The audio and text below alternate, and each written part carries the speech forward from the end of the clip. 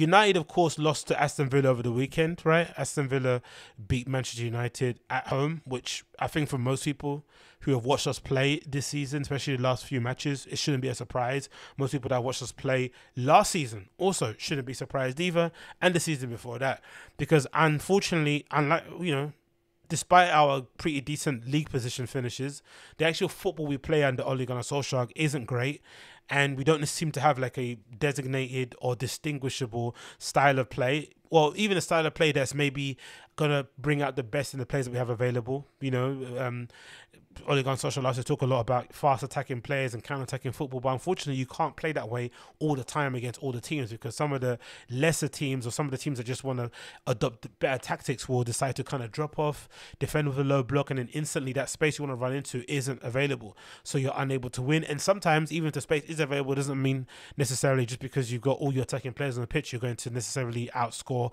or outgun the other side that you're facing. So a lot of people have always had trep, you know, hesitations about Ole Gunnar Solskjaer's tenure. Seems some issues there. They think that even though like that, the fact that we signed Sancho, Varane, and Ronaldo only one window, a lot of fans didn't think that was going to be enough for him to win the league or to win a trophy. Forget the league, just to win a trophy, even a league cup, which obviously we got knocked out of in a week as well. No one really thought that was ever going to happen. And I think a lot of the fans who are quote unquote Ollie out were quite reasonable, I felt, in their assertion, especially off the back of what Tuchel did at Chelsea. Unfortunately, a lot, I know a lot of people kind of get upset about that example being used, but it's an example that we have to use because it's something that is kind of um, a sort of like for like comparison in a, in, in a way, right? Because Lampard, is experience wise, um, was far less experienced than someone like an Ole Gunnar Solskjaer who's got like 10 years experience in the game. Um, he obviously came through with a far less, um, you know, he had managed less clubs, of course, than Ole Gunnar Solskjaer. And the fact that he was failing so much at Chelsea, despite being a club legend, despite being given the resources, and then for him to get sacked in the middle of the season, Tuchel to come in, take over, and take them from like seventh, where they were, to I think third, and then they obviously won a Champions League. It showed people that sometimes, you know, even though a lot of people said that Chelsea team needed a lot of work, um, Lampard was the one that was saying that they were far, far off from challenging for the title and winning any trophies. But then Tuchel immediately got them believing, and now they're in this season. Obviously, it'd be a big step for them to go to third to f- from third to first but there was still an understanding that this is what kind of elite coaching looks like. And unfortunately, Lampard maybe will become a better coach in the future for it, but at this current moment, he probably isn't at the level needed to survive the cutthroat industry of football that occupies that kind of top echelon. That's what a lot of people were saying about Oli. That's it. Just saying that maybe he's you know he's done a good job now. He's stabilized us. He's kind of taken over from um, Mourinho, who was incredibly toxic and made Old Trafford um, a very poisonous and venomous, you know, place to be. A lot of kind of, I think I've I said before in a few other Twitter spaces that I've been in, um, that I think a lot of the division um, amongst United fans about it's Ollie in, Ollie out, people that go to the game and don't go to the game, and all this kind of stuff. Give him time, don't give him time. I think majorly spawned from the Jose Mourinho era. Era, sorry, he made uh, the fan base very, very toxic, and people kind of fighting against each other, which doesn't necessarily solve anything because you know the common enemy that we have is definitely the Glazers and the ownership and how they've kind of run this football very poorly over the years.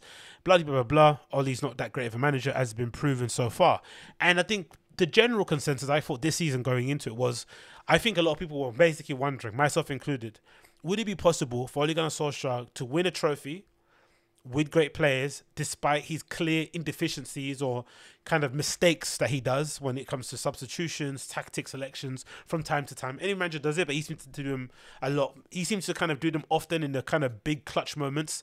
He's he seems to fire on one side, and then of course the players then seem to fail again on the pitch themselves. Who knows? It's because of his instructions or because of themselves, but we don't know. But I'll say I was going into season thinking to myself, hey, can this guy potentially win us a trophy despite him being quite an average coach. And we've seen evidence of it before. Roberto Di Matteo at Chelsea won the Champions League. Again, he's not much of a manager. I'm not sure if he's even managing a club at this at this present moment in time. But quite soon after that new season, he was sacked. Uh, he was sacked, of course, because he didn't do a good job. But that was further proof that you can maybe get a caretaker manager to come in, especially if the team has stacked with experienced um, serial winners. They could maybe kind of you know. Um, um, stabilize things and kind of get themselves over the line when they're playing cup competition, right? Which is basically one off games after one off game. But it's quite hard to do that in the league, nearly impossible. you know, sustain that over um, a Premier League season is quite difficult. You don't win the league by a fluke. You don't win the league with having a terrible manager. You need to basically have, you know, a pretty decent team um, and a great manager in order to kind of win the league. And so far, we've seen with how we started in the league so far and maybe the last three results in combination that maybe Ollie may uh, might not be the guy, especially with the players we have available now. Because you know the only pushback you hear from people is like, "Oh, we need a DM, we need a DM," but we've got enough players on the pitch, enough quality, enough people to choose from to make a pretty decent team that we shouldn't be losing at home to Aston Villa. Don't get me wrong, you're not going to win every single game in the league. I understand that, but you should lose um, your more your your games against maybe your bogey sides away from home, maybe against your kind of title rivals from time to time. But you shouldn't be leave, losing, I think, banker three pointers even against Aston Villa, especially Aston Villa, uh, you know, without a Jack Grealish, who are in this kind of transition period where they're trying to find their feet. You should be kind of putting these teams to bed, or at least you know coming away with it, the draw, and then going again next game. So we lose at the end, you know, with a header and then miss a penalty. Bruno Fernandes, I thought, of course, was the icing on the cake. But it looks like suddenly now the press and the media, who were very protective of Who were basically making every excuse under the book under the sun for him, are suddenly starting to change their tune. And I'm quite conflicted by it because I think a lot of the times football media, football journalism is super um, reactive. It's super knee jerk. No one's ever proactive. No one's ever thinking about things long term or, you know, kind of specking things out and saying, okay, let's follow some trends, let's analyze some data from before. Everything's just short term, knee jerk kind of reactions. And fans who are raising reservations about Ollie's um, you know, ability to lead this team after his second season at the club, maybe beginning of his third. They were seriously thinking, hey, if he's not able to win a trophy, maybe even last season, um, maybe it might be time just to kind of hand this team over to an actual better coach. Of course, some people would view as unfair, but quite clearly, he's not shown any evidence so far that he's got any ability to win as a trophy. And I think this season, especially with the League Cup, forget the Europa League, that's facing a pretty decent Villarreal side. Again, you know, with, with a great coach and a great history of you know European competitions or one of cup competition games in general. Fair enough. Um, you might got out tactic in the final, whatever. But I thought the League Cup is a bit of a gimme. It's a bit of an easy trophy to win because most Premier League sides definitely usually feel their weakened teams because they don't really want to be in a competition anymore. So you can progress quite quickly and quite far, especially with the FA Cup when you start in next year the Elite Cup would have been a great way just to claim a free trophy, put that in your cabinet, and then shut up everyone that says you haven't won a trophy. And immediately, I think a free trophy would instantly buy um, another season. Instantly maybe even 18 months that would instantly get him if he would have won that trophy. But the fact that he didn't go for it, the fact that he made 11 changes, thinking that he could rotate in that way, um, just showed me that he lacks that killer edge, that real kind of, you know what Mourinho did when he was kind of cringy and he was like holding up the four fingers or the three fingers, I forgot it was because we won the Europa League and he was including the charity shield or something, something stupid like that, right? It's a bit cringe, but I like the fact that when he comes in, he wants to win the first trophy available, whether it's a community shield, the League Cup, it doesn't matter. He wants to get a trophy in the in the bank, in trophy cabinet, sorry, and he wants to instill that winning mentality into his squad so that they know he means business. Like we want to win everything inside, everything inside. So every game is crucial. And at United, you have to do that. You can't just coast along waiting for things to develop and get better. You have to win trophies. And now it looks like the tide is finally changing. People are starting to expect a little bit more from Ole Gunnar Solskjaer. As you can see from this headline, courtesy of the Manchester Evening News, article written by Samuel Luckhurst, it says Ole Gunnar Solskjaer is not managing United um, with tactics and then you've got here um da, da, da, da, you've got no let's say yeah you've got this clip again from the Sky Sports News of Gary Neville talking on his podcast about how he feels um, Gunnar Solskjaer is managing and the deficiencies he's saying he's seeing, and this is all the stuff that we've been saying. We've been like, everyone that's been kind of critical of Ollie and his tenure and his coaching has always said it's all individual brilliance. We don't really have any coaching. We don't have any systems of play outside of the counter attack. Um, it looks like we rely on individual brilliance. If our individual players don't show up, we generally lose games. We concede goals all the times. We don't really play well. Uh, Brighton play better football than us. All these things that we were saying in general on social. Now he's trying to echo. And again, it's two years too late, but it's great to hear it regardless. So this is Gary Neville thoughts on Gary on Ole Gunnar Solskjaer's tactics and formations off the back of again that loss to Aston Villa in the league away from home. I said it even when they were winning, even when Ronaldo scored, they don't play well enough as a team to win this league, in my view. They don't play well enough as a team. Um, I think that you have to be a unit in possession and out of possession. And when but the funny thing is, he said that we don't play well enough as a team, but Gary Neville also said that if we sign Harry Kane, we're going to guarantee us to win a trophy or to win the league, right? To challenge. But Harry Kane hasn't scored a goal, I think, what, this season, right? He's on a barren goal run. He's looking miserable, moody, because maybe he didn't secure his transfer to Manchester City. And he's basically seeing that his career is basically going to be wasted at Spurs because he's a bit of a flat track bully and didn't have ambition and didn't want to push for a move beforehand and didn't work into his contract some sort of exit clause that would allow him to leave. So he's obviously kicking up a bit of stink. I understand, but still, he has himself to blame. But Gary Neville said clearly that if we get Harry Kane in, we're going to challenge or come close. I forgot what it was, but something along the lines of that. And then when when Jamie Redknapp pushed back to him and said, "Hey, they've got Ronaldo, one of the best players in the world, right? Second only to Messi. Why can't he be the one to challenge the league?" He was like, "Nah, I still don't see it." So it's it's it's never the it's always the players' fault that he needs. It's always more players that we need. Need more signings and it's never a question about the coaching. Never. That's never what separates. That's never the deciding factor about why we didn't finish higher up in the league, or why we didn't finish with more points, or why we didn't maybe challenge for the title. That's never it. It's always the players. Always more players needed. Always more players needed. Always transfers. Always transfers. Bit of bullshit, but what can you do?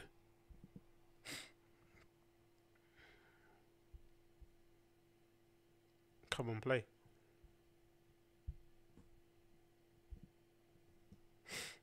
Wow, play when you only deliver in moments, those moments won't go for you in certain games. You need patterns of play. You need a way of playing. And I, at this moment in time, still see a group of individuals playing in moments with some patterns and combinations at time, but still a team that's, you know, some of them pretty new together. Obviously, Ronaldo, Varane, Sancho's not settled in yet. Uh, but they've got to come together as a team and start to define a style of play, and then you start to get results when you don't play well. And I think the way they are at the moment, they'll always have days like that yesterday. They'll have patches of, you know, four or five games where they'll only win two, but then they'll go and win 15 on the bounce and be unbeaten away from home for I don't know how long. That's the type of team they are. I have called them the odd bunch because I still look at them and think as though they're a team that wins games in moments. When I look at Chelsea and I look at Liverpool and I look at City, they're teams. They, they, they, they put Okay, then what's the issue?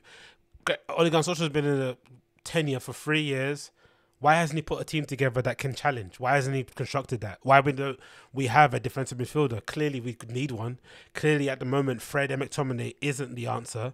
Matic is getting a bit long in the tooth, so we need to have somebody that can either sit in that position on their own or play as a two with either Pogba, a Van de Beek, or whoever. I don't care. That's not happened so far. Why hasn't that happened? Why in three years has it not happened? So on one hand, you can credit Oli for re you know, rejuvenating United and bringing back the good vibes and allowing people to smile again. But on the other side, if that's the case and he gets all that praise for doing that, he also needs some criticism for not entirely making us a cohesive team. We can't be reliant on individual brilliance to win league titles and trophies. Trophies, maybe you can do. We got close to it with Europa League final, of course, last season. But in on a consistent basis, it's very difficult for you to kind of win things on a consistent basis, right, back to back, um, playing that way. You have to have a system of play that allows you to play well, despite some of your players maybe having an off day, because you create, you know, patterns of play, ways of playing, uh, sustained pressure, tactics and formations that allow you to bring the best out of your players. At the moment, we just don't have it. And this is again Ole Gunnar Solskjaer basically describing his tactics pretty openly and pretty clearly. And this is everything that the fans have been talking about. But whenever the fans talk about it, it's always been like we're hating, we're not giving him the guy credit he needs. But this is essentially Oli describing his system of play and want to detail it. And the funny thing is, allegedly, according to Johnny, who I follow on Twitter, about United news. Oli was asked a question about his style of play. I think a couple press conferences ago, uh, by this dude Carl Anka, I think his name is, who helped write Marcus Rashford's book that's out at the moment. And he basically asked him a question. And he's a bit of an Oli inner, like he's a bit of a fan of Oli, right? And he was asking him the question about his style of play in a kind of positive way to kind of be like, hey, why don't you shut up the haters and tell me about what kind of systems you want to play and what things you want, the kind of probing him, like, hey, I spoke to you last time. Let me know, you know, kind of tell me what you told them and Oli just refused to answer it or didn't want to answer it or didn't have an answer for it and essentially just said you know tactics and talking about the nuances of the game is overrated. There's not real need of it. It's kind of going it's extra. If you don't have good players you do good like just basically saying passion is basically the name of the game. And it was like huh? And again, this is a, the, the problem again for Oli is that it's in contrast with the Tuchels of this world. It's in contrast with the Klopps. It's in contrast with the Peps, who are very kind of um, you know, enthusiastically bubbly guys who are super, super addicted to football and tactics and coaching. You know, you can't get Klopp to shut up about how he wants to develop a team and how he develops youngsters and transfer targets he has and styles of play. You can't get those guys to shut up. If you speak to them about football, Pep, Tuchel, Klopp in press conferences, they perk up straight away. Ask them about transfers and all that sort of stuff, they get a little bit tired and bored of it. But ask them about actual tactics and why you decided this and that. They love that sort of stuff. But with Ollie, he seems to not like it. He just wants to talk about passion, uh, fitness, um, you know, tenacity, all these things, pace, all these things that have nothing to do with actually being technically good at the game and understanding it. And I think that's is what is causing again a disconnect with Ollie and his tenure. Because at the moment we're not. Because I think it would be okay if it worked. No one would care. It's sort of like Jose Mourinho. Jose Mourinho is only a problem for your team if that style of football doesn't work. But if it works, you don't give a toss that you park the bus. You don't give a toss that he height. He kind of buys players based on their height, weight, and age. You don't care but as long as, as soon as it doesn't get results, you also you're soon as it doesn't get results, you have a problem with it. Same goes for Ole Gunnar Solskjaer. The style of play we're adopting at the moment isn't working. Um, his way of playing the football, playing football isn't working. The players aren't responding in the right ways, even though we've got all the right players, quote unquote. It's not working at the moment, so naturally you're going to get pushback. But again, this is Ole Gunnar Solskjaer explaining his style of play, and it's pretty fascinating. Sorry. The definition of the Ole Gunnar Solskjaer style and how does it blend into the Manchester United way of traditionally playing? Of course, I've been affected by my many, many years here as a player, and uh, then as a coach uh, after I was a player. Now I'm, i come back as a manager. The traditionally best Man United teams have quick attacks, fast players. We break quickly. Uh, we got quality individuals. We got uh, width. We got uh, individuals who can make a difference. Um, I think if you see a re like a video reel of the best goals, many many goals are individual quality or fast attacks, quick counter attacks. See Ronaldo's free kicks or Rooney's and Ronaldo's counter. So yeah, that's basically it. individual brilliance, right? And then again, let's go back to this article. It says the Man United's title challenging squad uh, have a chance to squad, but some doubts persist as to whether they can have a title challenge manager. Nuno Espirito Santo was always um, onto hiding at Tottenham with the club's uh, initial aversion to appointing him as well as being a replacement. Nuno was dismissed because of his compact style and deemed inc- expensive. Weeks later, Spurs appointed him. For a manager whose Wolves program notes were shorter than a footnote, Nuno was laudably forthright after Tottenham's embarrassing loss against Sunderland, saying a lot of things went wrong, starting with the decision I made. The game plan didn't work. I'm honest. I have to say that. I decided bad. I take that right decision, and I refuse to go out more further than that. The surgeon Daniel Levy's approval ratings um, that the naive Kane brothers triggered a breach. Anyway, Gunnar Solskjaer bristled at questions about the choice of penalty taker and Cristiano's reaction as he straddled the pitch, punching the corner flag en route to a tunnel. Solskjaer mumbled usual penalties and cliches when talking about accountability would be received favorably by match goers. He said instead um, there was another Adoni, um, anodyne analysis of the officiating in the Premier League. The video system referee is a subjective and inconsistent system that is erratic pitch referees, but is here to stay. David De Gea was not getting to Courtney House's header regardless of the offside. Solskjaer's aversion, sorry, Solskjaer's diversion tactics are about as successful as his on-pitch tactics. He is not a natural enough orator to put them at the top of the agenda, and there is karma for the pre-match uh, carping about the shortage of penalties when Bruno sent his spot kick into orbit, which is true. There is some, you know, he did kind of complain about it because he felt that Klopp's comments about our penalties and frequency of getting penalties last season maybe affected the fact that we haven't had a couple of penalties this season. United supporters were instead miffed another goal conceded from a set piece, another delayed attacking substitution. Solskjaer was compromised by the unforced withdrawal of Luke Shaw and Harry Maguire. There was an inter- there was an inordinate wait for a proactive move, and Edinson Cavani was not the most um, strategic of choices. The tone was set within the risk aversion midfield of Scott McTominay and Fred. Um, they have the started three in this. They they have started in three of the six Premier League fixtures, and has McTominay not acquired a groin injury, um, groin, groin surgery, sorry, last month that the midfield access might have been the same for all six matches, of course, because he said that's his preferred system. This is where I think Ollie lets himself down. I think you're always going to lose games. It's obviously standard, but I think the decision making choices in terms of substitutions and tactics and what to do to affect the game always kind of leave me a bit miffed. So the Harry Maguire thing is a good example. He allegedly got injured, I think, just before half time. I think, if I'm not mistaken. Maybe just after. He got something, some sort of injury when he was wanting to stretch for something or whatever it may be. And he was clearly disrupted by it, a grain injury or something along the kind of lines, right? Um, something went wrong. And uh, obviously, you know, he's a captain, even though I think, you know, it's pretty uh, lucky to be captain of United considering, you know, how average he is as a defender. But regardless, he's our captain. He's our marquee centre back in the terms of, you know, the fee and the profile, blah, blah, blah, blah. Not profile, maybe the fee. So I understand maybe the kind of hesitancy and not to take him off straight away. You want to see it help him, let him kind of run it off. But considering we're playing against such a fast, attacking, aggressive kind of Aston Villa side, and especially when you consider the kind of the flow of the game, it would have made more sense to just make an executive decision and get him off the pitch as soon as possible, especially if you're struggling, because you know he's not got the pace necessary anyway to kind of keep up with those players as they're kind of pinging in around him. So it would have made more sense just to kind of change it up and get someone else off on the pitch. Cool. The Edinson Cavani change towards the end again probably came too late, and in my opinion, might have been the worst decision to make because there was space that what that we had to basically exploit because Villa were pushing far up and they had their fullbacks kind of trying to ping back our fullbacks, but it led us a lot of space behind with their three centre backs just to attack them. I would have maybe brought on either a Lingard or a Sancho to basically stretch their defense a little bit, and maybe even a wild card in Martial. But I don't think Edson Cavani was the best decision at that time. Now, of course, he was compromised in that position because Luke Shaw and Harry Maguire go for as a, as a, you know enforced injuries, so you only have one substitute left. But I still think you could have made something a little bit more astute. You could have been a little bit more clever with what you kind of put out there on the pitch to change things around that would have made far better. That would have made maybe a far more impactful difference in terms of how we played. But again, we move.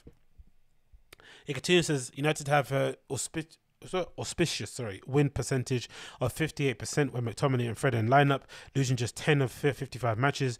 They were the midfield pair, pair in duo. They were the midfield duo in Paris. The Gary Neville asked where Solskjaer wanted his statue to be eradicated, erected, sorry. The breakup of the McFred also is direct consequence of Europa League final when Solskjaer overloaded the front six, refused to drop and overplayed, underperforming Marcus Rashford, and failed to make a single attacking substitution um, against an ob- ob- uh, obdurate, obdurate opponents. That's fun. That's enough diplomacy. McTominay and Fred do not have the makings of a title challenging duo, never will. Roy Keane called it a nearly a year ago. He said they won't get United back to winning titles. Each player is good, dependable squad option, and there is merit to reprogramming uh, McTominay to keep a vigil at the base of the midfield, which I don't think is true. I actually think McTominay's best position is as a number eight. He's clearly a better box to box midfielder than he is as a conventional six or a four sitting, yeah, six slash five sitting in that defensive uh, double pivot. I think he'll work far better in a 4-3-3 bombing forward.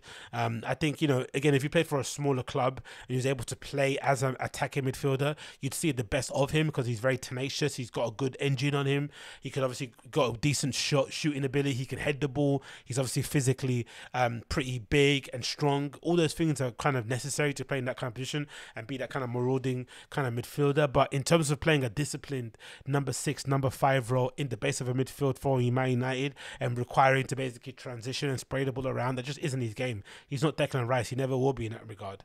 Um, it continues says McTominay, but the dependence on them together underlines undermines social status. Too often he does not manage like your United manager should. For the thrashings of five goal holes, Solskjaer is a stickler for pragmatism, and his managerial mentality is at times more molded than United. Um, Villa were always likely to retain a back three, even though the ineligible and Axel Tuanzebe, which demanded a creative midfield. Um, Solskjaer um, Solskjaer um, eroded this uh, on the side of caution, preoccupied by Villa's front two of Ollie Watkins and Danny Ings. Imagine the Philip in the Villa dressing room when they scanned the team sheet. So United have deprived themselves of a fifth forward with Jesse Lingard, Diego Sancho, Donny van de Beek on the bench. Um, it's little surprise United dropped points against the outside the league um, when their manager is so easily caught between two stools. He reacted to a red card against them, a fourth team side in Swiss League, by switching to a back three. United played for a 1 0 and then for a draw and then got neither. They got what they deserved. United have lost three of their last four games, departing one competition, so an inquest is obligatory, especially after the manager selected an unchanged 11 when United were a kick away from drawing the week before. There's no rhyme or reason for fielding the same side against Villa that had performed so sporadically against West Ham, and it's inconceivable that had Mark Noble struck the ball beyond David De Gea's reach, that Solskjaer would have had at least one change in six days later. It's inexplicable how Fred retained his league place after a ramshackle performance against London, and one can only imagine what key made a Brazilian chucking, chuckling seconds after spooning his ball into touch. United's adversaries have raised their bar in recent years, and Solskjaer needs to respond. It doesn't. If he doesn't, he's onto a hiding. But that's what I. That's why I disagree. I don't necessarily think he's going to go anywhere. I think at the moment our owners have basically shown us and proved over the years that as long as Solskjaer gets, as long as our managers get top four football, it's very difficult for them to justify sacking them because essentially they use United as a basically a you know. Uh, uh, flipping cash point um, to to kind of take out dividends from the club. So as long as we're able to make top four football and secure, um, you know, Premier sorry, secure European football and get that money in from the TV rights and whatnot, then we're basically good. And kind of winning trophies is kind of a second. It's kind of something that comes, you know, second. Especially if you're able to secure high-profile signings, you get them to sell shirts and all that and all that stuff. So if Solskjaer can get top four football, I really do worry for our club in that we might kind of you know, just slowly trudge along into obs- uh, obscurity without really doing much. And I'd much rather we be proactive and decide that, hey, Solskjaer has maybe been one of the most important director of football that's not a director of football in the club's history in terms of what he's been able to do in terms of changing around our fortunes and kind of revamping the squad and making us believe again, especially after the disastrous tenures we've had in previous managers. And that should be noted and kind of clapped and adored and sort of applauded from afar. But then it's time to hand this over to an actual elite manager who can take our players to another level. And you hope to do so because Klopp has shown it. He can do, you know, he can make wonders out of kind of fairly, you know, average and players that you probably wouldn't really, you know, kick up much of a fuss about. The Origis I look at as likes of, right? Even the Shaqiris are now Leon he was able to get those players to kind of perform for him and step up when need be, and they were able to create some monumentally histori- historical moments um, for Liverpool in their history. Um, obviously, Tuchel's done it his way too. Maybe he's had a bit a bigger checkbook, same with Pep, but they still have an ability to coach their sides. They don't just simply buy players and that's it. They still coach. They still get them to perform at elite level, and still they kind of fall short. But on a consistent level, they always consist competing for trophies, competing for the league, and if we want that for United, we're probably going to have to change manager that's just the nature of the game, isn't it? But you know, what do I know?